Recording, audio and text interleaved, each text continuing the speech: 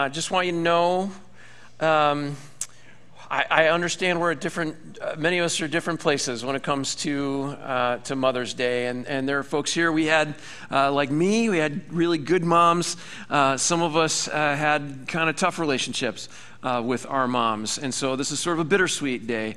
Uh, we have um, folks in the room who would love to be moms, and that door is not opened, at least not yet. And so this is a hard day. We know uh, that you're here. Uh, we see you. God sees you, and uh, you are loved. So let's pray together, and then we'll dive in uh, to the, the passage. God, thanks for this passage and for what it has meant is in my life and in the life of uh, our church and in the life of the church as a whole. And uh, I pray that we would come out of here understanding what it was you're saying. I pray this in Jesus' name. Amen. So, uh, what we are doing is talking about forgiveness. And let's just, uh, here's a little reminder of what we did last week. Here's a, a quick definition of forgiveness. So, we're all on the same page of what forgiveness is it is the release on the part of the offended party, the expectation that the debt will be repaid or that the offender will be punished. So uh, that's forgiveness, as we're talking about. That's the, the place that we want to get to. And we, uh, if you have questions about forgiveness, I'm sure you do. We can't get to everything. We are trying our best, like on the podcast, to answer as many questions as possible. So make sure you uh, watch or listen to those podcasts uh, as well. This week, we're going to talk about how do we forgive. So last week was sort of a where does forgiveness come from? This week is how do we forgive? Next week is how do we receive forgiveness from other people? And the last week is how do we receive forgiveness from God? So let's talk about this forgiveness uh, for other people. So one of the things that Jesus taught was that we have to be ready to forgive at like a moment's notice. No limits, if you're a follower of His, can be set on uh, how much forgiveness can be offered.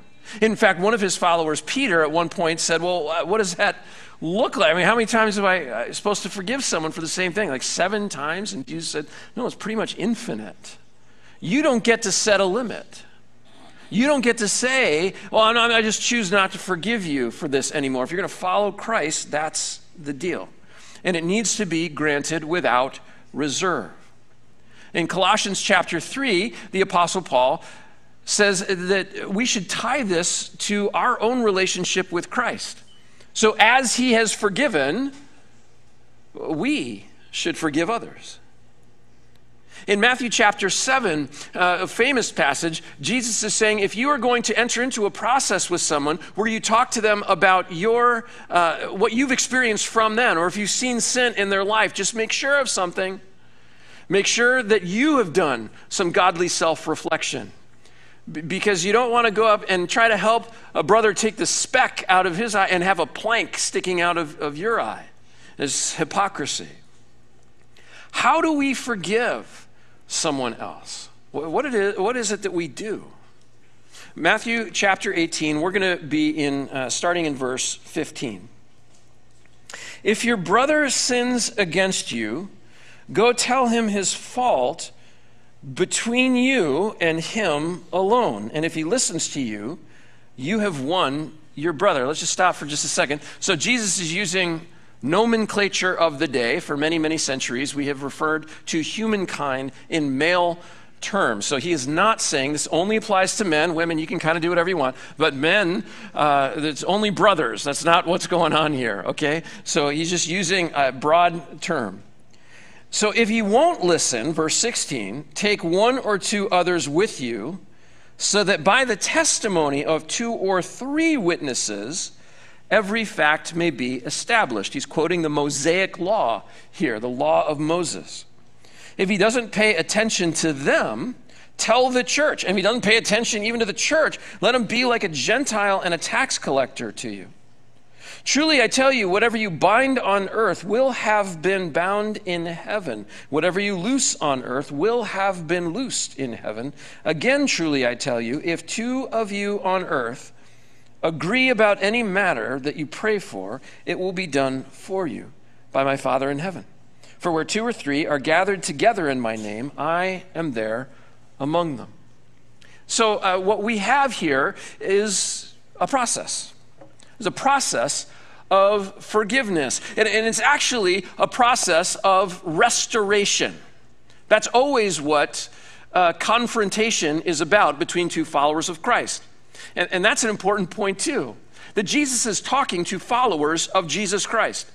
It's not that uh, what he is giving us here does not uh, apply or is not helpful to those who are outside the church. We should still, if we are offended by someone and they are not a believer and we are, for instance, not that we shouldn't go and tell them what the fault is, like uh, we're free from that. But this, this applies, and the way it applies is to, to followers of Christ within uh, the church setting. So the global church, the big C church. And the first attempt is you go to the other person without going to others so that the sin might be acknowledged and forgiveness be extended. The second uh, attempt would be to go to the other person. If, if there, that does not work, go to the other person with others, ideally those who witnessed what happened, so that the sin might be acknowledged and forgiveness extended. The third attempt is to go to the church. We'll talk about what that means in a moment, so that sin might be acknowledged and forgiveness extended. And the fourth step is to turn them away from Christian fellowship. Guess why? So the sin might be acknowledged and forgiveness extended. That has to be the purpose. That the sin would be acknowledged in this person's life and that forgiveness would be extended to them. Let's unpack each step of this restoration. Here's the first step you go to the person privately. Why? Think about this for just a moment. Why would you go privately to that person? We have ways of getting around this, by the way, in uh, our modern world. So, one of the ways we get around this is like, well, I just really need somebody else's perspective. And so this something has happened between me and someone else, but I, I need the wisdom and perspective of someone else. So I'm going to go talk to my best friend who won't tell anybody, and, and I'm going to talk to them about. I just need your godly perspective. No, you don't. No, you don't. You don't need the perspective. We, we, we already have a coach who's told us exactly what we need to do. Another way we do it is say, "Well, I just really need prayer about this." Yes, we all need prayer. I understand that. But sometimes I need prayer for this as a way of just gossiping about the situation and forming a posse of our own. We don't need someone else to weigh in on prayer. We know exactly what we need to do. We need to go do that thing. We need to do that between us and the other person. Why? See, uh, we think, this is uh, the American answer, we think that this is about protecting ourselves. Jesus loves us and he cares about us, which is true. And so, what he really wants is for us, brother or sister, to go to another brother or sister and have a very hard conversation so that our reputation is not ruined, it is protected. It's like I, I, I should be protected as the one who's offended someone, I, I should be protected from this. That is not true. Jesus is not concerned about our reputation, he's concerned about his reputation. This is not about our name being dragged through the mud, it's about His name being dragged through the mud. Do you understand that if, if our sin that we have committed, we do something against someone else or we do something to offend, the reason we, we want to keep this as small as possible is because who's, who's around us? Well, there are people who are young in their faith. There are some who are not yet followers of Christ. There's some who might be struggling in their faith. And if they see sin being committed like just easily, it's not that big a deal. What it can do in their minds and in their hearts is start to turn to, to go, well, I, who cares? I mean, this person who's more mature than I am, they're sinning. It's not that big a deal. And we kind of turn down the volume of sin. It becomes acceptable to us, and it's fine. This is not about us. When Matthew 18 is, is like not followed and we're confronted about it, we get offended for us. Who are we? I can't remember a single time when someone has confronted me about something where I've gotten offended for the name of Jesus. That my sin has been that egregious that it might wound the cause of Christ. It's always been about my own ego. That's step one. Protect the name of Jesus. Let's keep this as small as possible. The second step is the witnesses. These are not witnesses that are recruited from a group of our friends who would probably agree with us on something. Ideally, these are witnesses who have seen this themselves. They've seen this behavior, they've seen this happen. And so now you're sitting across from this group of, of people who are saying, well, it's not just them, it's, it's us too. Imagine what is going on spiritually when you say, No, I refuse to listen to you, you're here and you're presenting this to me, and I will not listen to that. Okay? Now there's a group of people sitting in front of you saying, uh, this, No, this is true. no, no, no, no, no, no. I refuse to listen to that. What's going on? There's a hardening of heart that's happening. The third step, Jesus says, is to tell it to the church. The church looks very different in Jesus' day than it does in our day. This would be more akin to our grow groups, is what it would look like in, in the ancient church.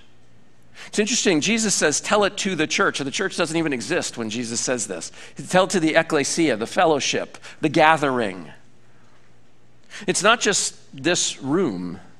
We have some leeway about how this is interpreted. Ideally speaking, this would happen in grow groups where something would happen and, and you would sit with the whole grow group and you say, okay, this is like level three. We've escalated this now. Now the whole group has to talk about this.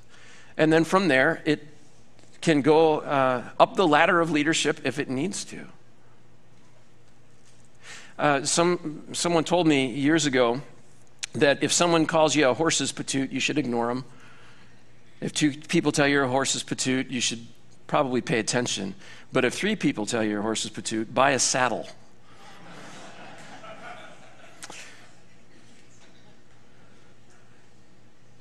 and that's what's going on. There's evidence being built. No, no, this is true. We're not kidding around here. The fourth step here is to treat them like a Gentile or a tax collector. It's a way, a Jesus way of saying an unbeliever. So, what does this mean? Does that mean you, you kick them out of the church? Well, Gentiles and tax collectors were not allowed in the temple in Jesus' day. They were, they were not allowed to enter the, the temple area. But uh, what did Jesus, we've got to remember who's saying this, Jesus teaching this. What did Jesus do with Gentiles and tax collectors? He fellowshipped with them, he ate with them, he hung out with them, he ministered to them, he loved them, he told them about the gospel. So here's the distinction here in our world. This is not about, uh, you know, you've committed sin and now you're outside, we set you outside the church. That would be a pretty severe thing It can happen, but it's a rather severe deal. So uh, I say often that we know who is in the room.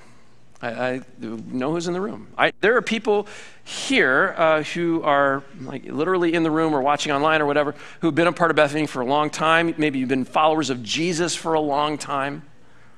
And this is your church, and you're growing in Christ, and you're trying to mature in your faith, and all those things. But then there's a lot of us who are part of things here who we don't know where we are spiritually. We're not sure what we believe about Jesus. We're still trying to figure this out. Like, do I believe the Bible? Do I believe Jesus is really who he said he was? Like, all these things. We're working that out. And we're here. We're glad you're here.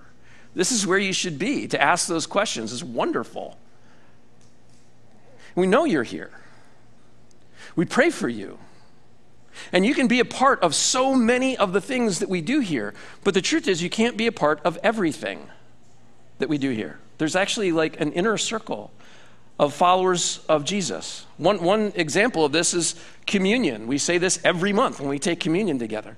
I stand up here, you've heard me say this, and I say, this is open to anybody who's a follower of Christ. But if you're not yet a follower of Christ, would you just let the elements pass you by? This is not for you.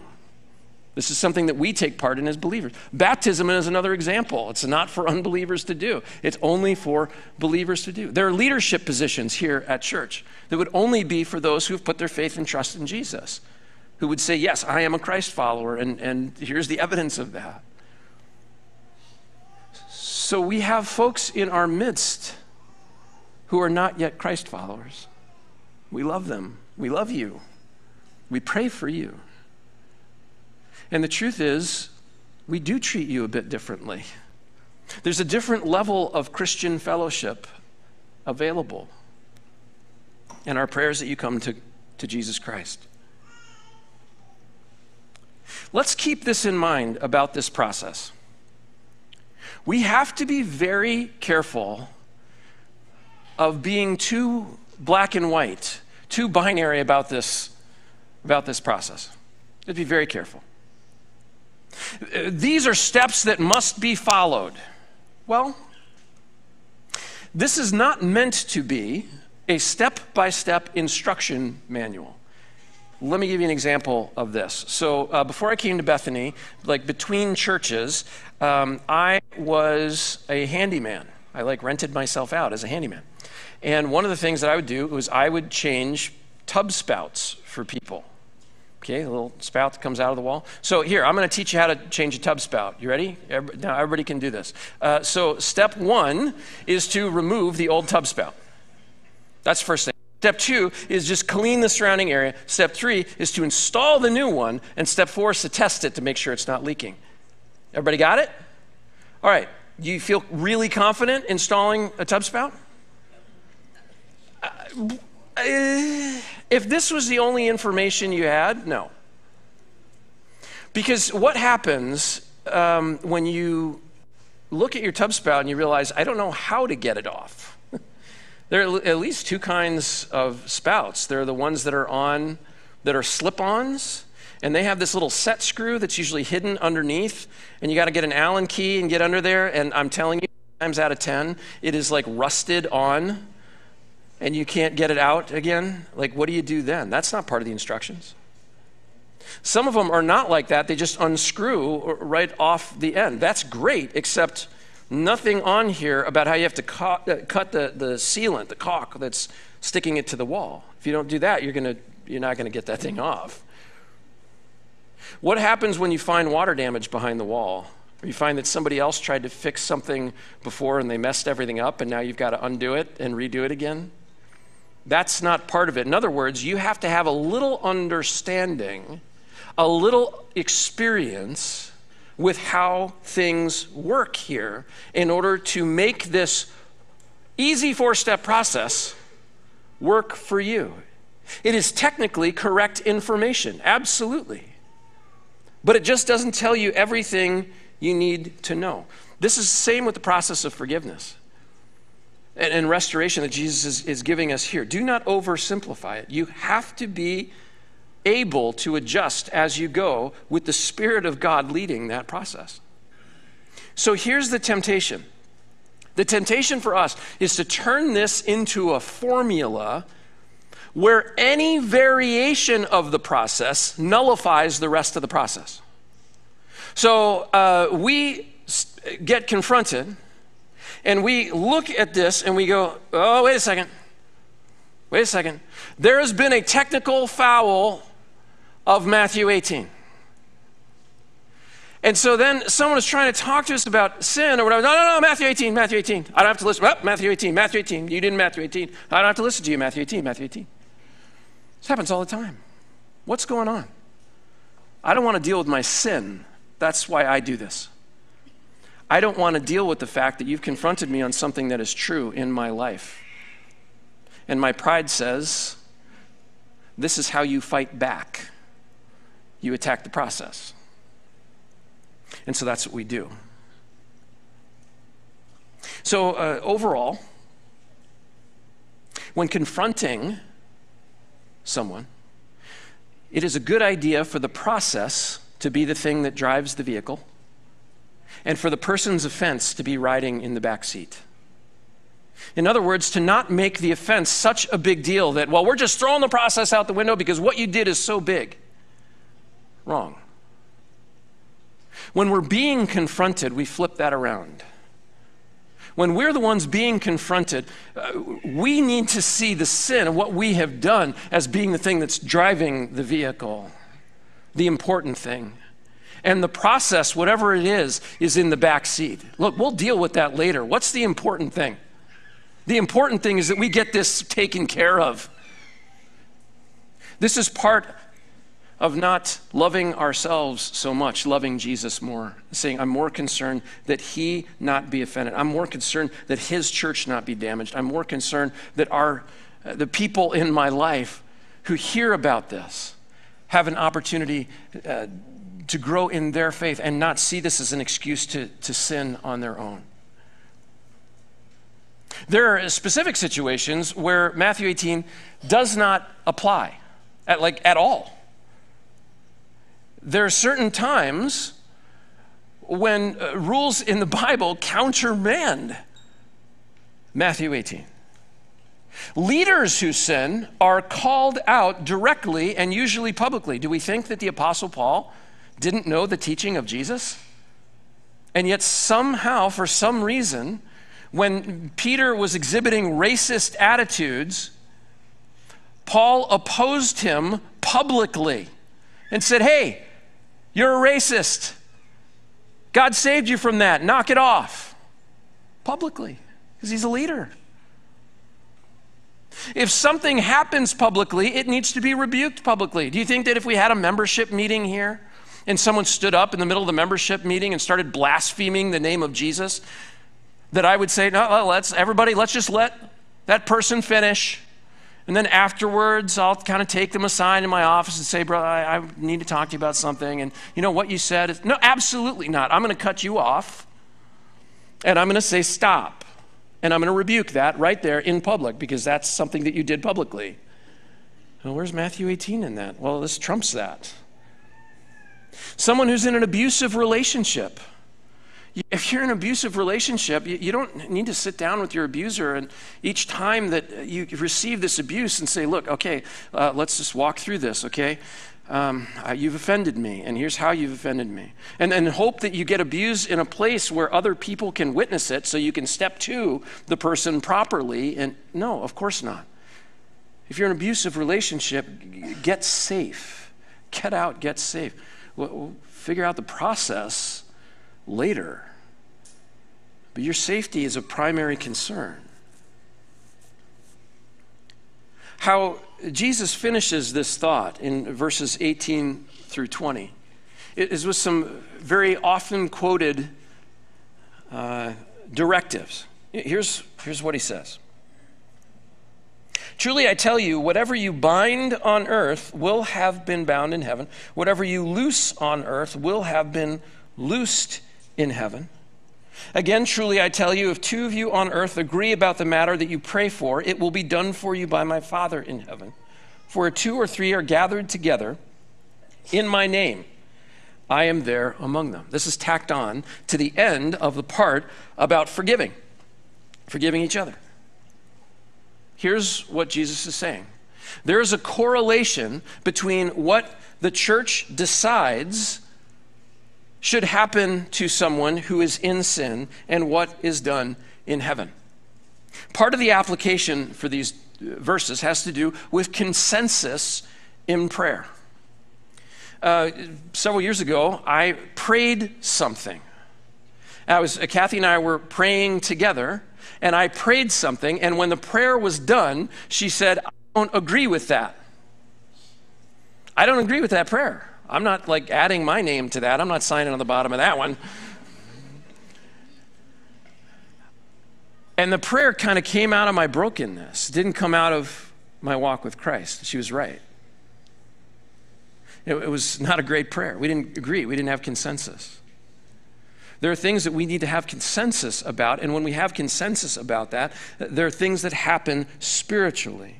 Another part of this has to do with the unity of the church. When it comes to rendering a decision about someone who is in sin, we make a decision. That decision is made. God goes sounds strange god and heaven goes along with this, with this decision in some way shape or form now, God can overrule our decisions, certainly. But we, there's spiritual power and authority that the church brings to bear in the world.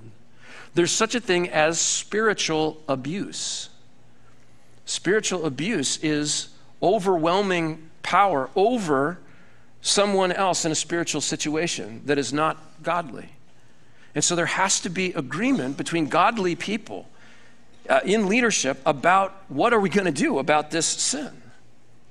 But the overarching principle here is the presence of Jesus offers real empowerment when the church is gathered together in Jesus' name. We've had this experience. I hope you've had this experience that you've been in fellowship, you've been in worship, and a, a, line of a song has done something in you, or you just found yourself very emotional for a reason you can't really explain, or someone's name or face has popped into your mind as, as you've been hearing the word of God proclaimed, or something has happened where you have this conviction. Something's happening in the room. What's happening in the room? Jesus is here. It's not that when you're walking, you like I walk into my office and I'm there by myself, and then you know Pastor David walks in. It's like, oh, good, David's here. Now Jesus is here, because two or three are gathered. So now it was like he was by himself, no Jesus. I'm by myself, no Jesus. But we get together, and then there's Jesus. That's not what the passage means. The passage is that when we get together in the unity and fellowship that God's Spirit is there with us. When we have been offended, when we have witnessed sin, we need to consider a few things. First is this um, life together in community means that we're going to offend each other. Um, I, will just be honest with you. I almost started, like my first Sunday here, at Bethany, I wanted to apologize to everybody and just say, hey, look, I am really sorry. Okay, I'm, I just want to apologize in advance because some, at some point in time, I'm probably going to say something or do something uh, with, for no intent, no reason, but I'm going to like step on your toes in some way. I'm going to say something dumb, whatever, and I just want to apologize in advance. But you can't do that. You can't like pre apologize for stuff if we are going to do fellowship together, if we're going to do life together, we're going to, we're going to do that. It, it is, to quote my dear friend Tammy, who you met a few minutes ago, this is a dance. What we do in fellowship is a dance. I'm sorry to the Baptists in the room, but it is a dance. So I, I apologize if I've offended you. Uh, and we step on each other's toes sometimes. We bump into each other sometimes. We, it happens. And when we do that, we go, sorry. I'm sorry I did that. I didn't mean to do that, but I just did because we're here and it's a crowded dance floor and we just bumped into each other. And that should be the end of it. However, that doesn't negate the fact that we did bump into somebody. If we have been wronged, the, the pain is real. Okay? You're not being like overly emotional or anything like that for having experienced the offense. It happens. Uh, likewise, we have a choice about how we respond. What, how do we respond? We don't have to create excessive drama. Okay, some of us are a little wired to be more dramatic, right? And we need people around us who are like, hey, that is great, Meryl Streep, turn it down a few notches right? We, uh, anything that happens is like big. Well, here's Proverbs, Proverbs chapter 20, verse 3. Honor belongs to the person who ends a dispute. Any fool can get himself into a quarrel. It's true.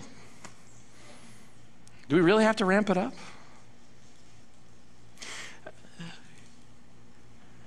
We can even choose not to be offended. We have that option. I realized that the things that used to bother me in my 20s and 30s and some of the stuff that was thrown at me, you know, early on in ministry, I, I don't, it doesn't, I don't even clock it anymore. I don't even like pay attention to it anymore. I, it doesn't hit my radar. So that's the work of God in my life to give me something that I'm still working on, and that is the word resilience. We need to be people of resilience. As we grow in Christ, we need to become more resilient. And so, as we become more and more like Christ, we're not bothered by things. Proverbs chapter 12, verse 16 A fool's displeasure is known at once, but whoever ignores an insult is sensible. You know, we can just ignore it. We have the ability. Proverbs 19:11 A person's insight gives him patience, and his virtue is to overlook an offense. Again, we just have the choice. Now, I, I say that, there is balance here. Because overlooking an offense for some of us is sometimes used as an excuse. Some of us uh, will just keep getting punched and mistreated and whatever again and again and again and again and again, and we're like, I'm just overlooking the offense. No, we're not. We are we are recording every offense. We are allowing that internally, what has happened, to define the relationship. We just are not confrontational. We don't want to confront it. And we think it's easier to keep getting punched in the face than it is to say, hey, stop punching me in the face. Because that's confrontational. But courage is actually often refusing to go back into that relationship refusing to allow someone to treat us that way. Look, if, if you see someone being mistreated, someone that you love, and, and someone is mistreating them, don't you want to step into the middle of that? Don't you want to say, hey, wait a second, you can't treat my friend like this? Of course you do. So, uh, question why wouldn't you do that for you? Why wouldn't you step in the middle of somebody mistreating you and say, wait a second, you can't treat me like that? Why wouldn't you advocate for yourself? For those of us who are either receiving um, some sort of correction or who are going to have to give correction to anybody, just understand that step one should really be as far as we ever need to go. God forbid that we ever have a group of people in front of us having to say, No, this is true. What's being said is true. You're not hearing it, but it's true. This is what we've seen. This is what, how hard does our heart have to be? Requiring a step two, ooh, and three. Oh my goodness it should be very easy for us when we find we've done something wrong to say, I'm so sorry. You know what? You're right. Should not have done that. I apologize. Forgive me. Uh, my, I had two best friends in high school. And um, we were friends through high school. Uh, we were friends in college. We went to different colleges and then ended up transferring into the same college. We lived together in college. Um, I was in um, one of the guys' weddings. The other guys uh, were in my wedding. But one of the guys, named Carter, I was not in his, his wedding because something happened after we uh, graduated college and we'd been through everything you can imagine together and yet something uh, happened after after we left college that like drove a wedge between us. And if you ask me what that is, I will tell you that I don't know. I don't know. Over the years, I tried to reach out to Carter and say, hey, look, whatever happened, whatever I did, I'm ready to own my part of it. Will you just tell me what I did? And I'm happy to do that. never heard back from him. A couple of years ago, my phone rang and I picked it up. It was another friend from high school. He said, Did you hear about Carter? I said, No, what's going on? And this was sometime in the fall. He said, Well, in the spring, Carter got a very rare form of lung cancer. He went very quickly and he died. His memorial service is tomorrow in Texas. I'm in Chicago. I found out later on that he'd spent kind of the last week of his life in the hospital just recounting good times with friends and he made amends with some people, but not with me. I found this to be true. Proverbs chapter 18, verse 19. An offended brother is harder to reach than a fortified city, and quarrels are like the bars of a fortress.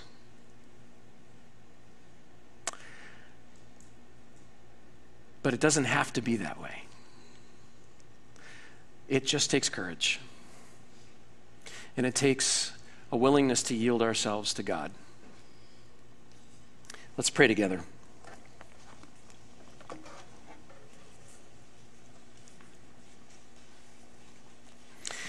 Lord, you know um, that this is hard for us. Forgiveness is hard uh, for us on every level. Uh, it's hard. It's hard to be the ones to receive correction, it's hard to be the ones to try to give correction. Uh, it's just tough. And I pray for your wisdom in this process. Lord, I ask that uh, you would guide us as we, we do this. Um, God, we have people in our lives who uh, may need to say some things to us that are hard things. May we receive it well and respond well. We have some people in our lives we may need to say something too. And may we do that process in a way that honors you. Uh, God, I, you know, uh, b- before my brothers and sisters, how often I've talked to you about Carter in the last couple of years. And um, I'm so grateful that he was a believer and that he is with you. And um, I pray for continued healing in, in my heart and for any other that um, were not able to receive forgiveness from someone they loved while they were alive, who were not able to extend forgiveness to someone. Um, but thank you for healing our hearts. It's in Jesus' name we pray. Amen. Hey, if you would like prayer for anything at all, there will be a couple of us in the prayer corner. We'd love to pray for you.